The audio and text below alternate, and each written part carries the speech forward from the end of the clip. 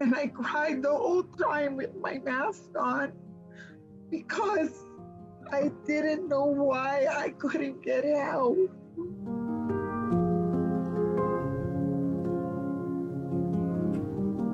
All of this happened so fast. And when you're not acclimated in, in a world of everything is programmed online and sometimes even the easiest things as the language that they use or what is a document sign that I didn't never used in my life when the Malama Meal program was um, started actually on March 19th. That essential service was so great. And the more people found out about it, the more calls and the more begging calls and tears and stories that you would hear. And so we were doing over a hundred, pretty close to almost 200 a day. When the funding, which was OHA, was approved, they put a cap on it to Native Hawaiians. I've already been running for three weeks. And I had to tell, who do I tell? Sorry, you're cut. So we paid for it. Uncle Glenn's ran it. This week was the first week we cut it back to three days Monday, Wednesday, Friday. I had to pick and choose who would be dropped from the program in the middle of a program at the hardest time because we saw it at the food drives because of that need that was so needed. So we chose to just pay for it.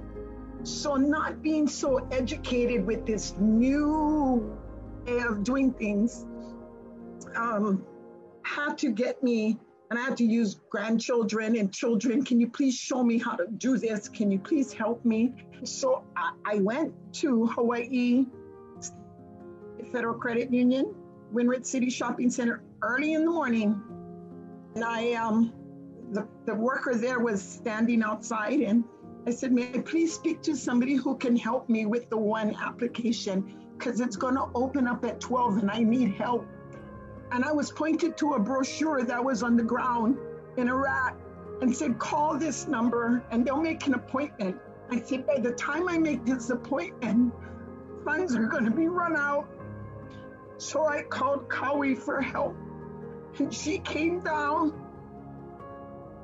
and she went to talk to the branch manager. And I cried the whole time with my mask on because I didn't know why I couldn't get help.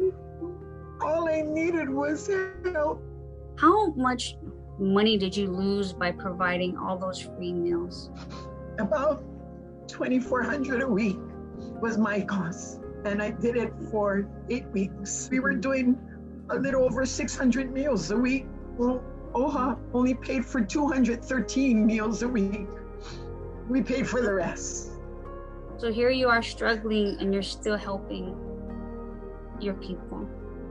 I am going to commit to you tonight, Auntie, that I will personally give two to three thousand dollars to you. You know, I have ability to buy a bunch of food.